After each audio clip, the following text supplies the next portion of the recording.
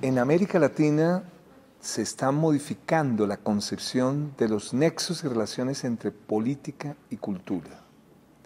Antes se consideraba que el camino para redimir la política eran los partidos, las instituciones, los funcionarios, los programas, y hay en nuestra región un gran momento de emergencia que se expresa claramente en los movimientos sociales de Bolivia, de Ecuador, de Brasil, de que quien va a redimir, reconfigurar y refundar la política es la acción y la dimensión cultural.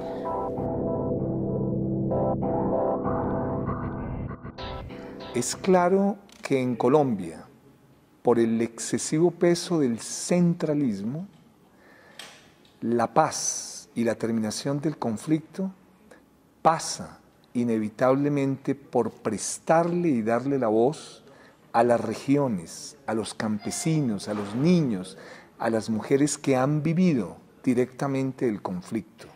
Sin sentido de región, sin sentido de territorio, no es posible hacer una terminación justa y correcta del conflicto.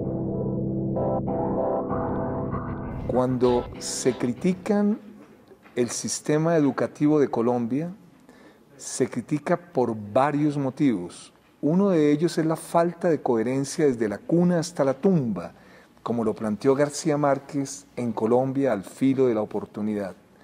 Pero la otra crítica es a la segmentación.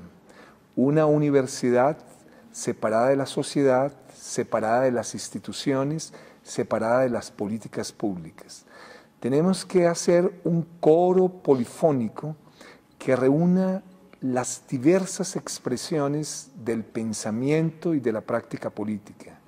Instituciones, y universidad tienen que entablar un diálogo crítico para hacer acciones mucho más profundas y contundentes.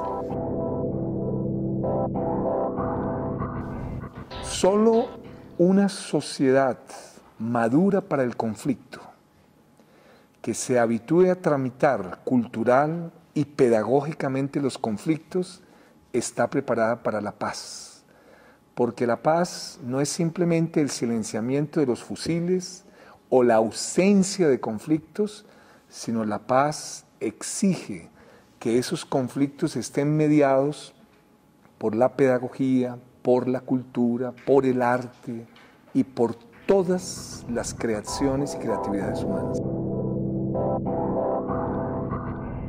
Algo que critican los investigadores en América Latina es que los que hacemos políticas culturales nos sentimos un poco aislados, sectorizados por nosotros y nosotras mismas. Necesitamos construir políticas públicas que establezcan una relación permanente con ámbitos de políticas que a veces no consideramos muy afines. Entre más distantes las políticas más cerca posiblemente están. Entonces, políticas sobre basureros, políticas sobre reciclaje, tienen que estar totalmente conectadas en la formulación y elaboración de políticas culturales públicas. En la tradición estética filosófica hay la lucha de que el arte inventa un mundo no se queda ni se conforma con el mundo existente. Es una promesa de otros mundos posibles, es una promesa de utopía, pero también contiene el elemento crítico del conflicto de que es una promesa de felicidad, pero quebrantada. Necesitamos construirla, no solamente desde el arte, sino desde todo el ámbito de la vida cotidiana y las políticas públicas. Thank you.